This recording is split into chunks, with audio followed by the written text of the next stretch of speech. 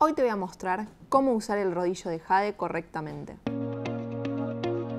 Empezamos en la zona del cuello trabajando con movimientos hacia arriba.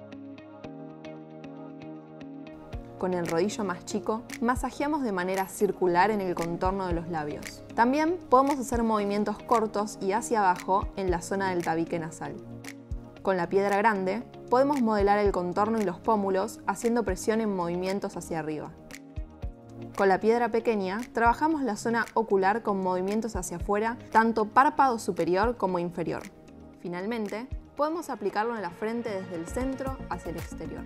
Conseguí tu propio rodillo de jade en Bitcon y probá esta técnica para aprovecharlo al máximo. Nos vemos pronto.